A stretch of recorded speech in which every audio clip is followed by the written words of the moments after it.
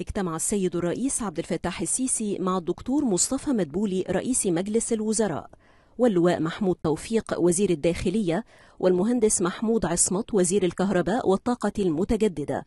والسيد عمرو عادل حسني القائم بأعمال رئيس هيئة الرقابة الإدارية. وأوضح المتحدث الرسمي لرئاسة الجمهورية أن الاجتماع تناول عددا من الموضوعات من بينها متابعة خطة العمل الحكومية لضمان استدامة واستقرار التغذية الكهربائية حيث وجه السيد الرئيس بتكثيف العمل بالمشروعات الجاري تنفيذها في مجال الطاقة المتجددة بهدف إضافة قدرات جديدة للشبكة الكهربائية.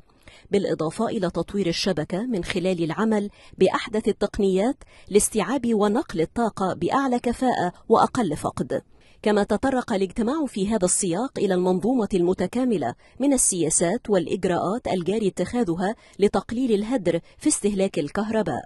ومن بينها مواجهة التعديات والتصدي لظاهرة سرقة التيار الكهربائي في إطار الدستور والقانون حفاظا على المال العام وحقوق المواطنين ولتحقيق الاستقرار والاستمرارية للتغذية الكهربائية على مستوى الجمهورية.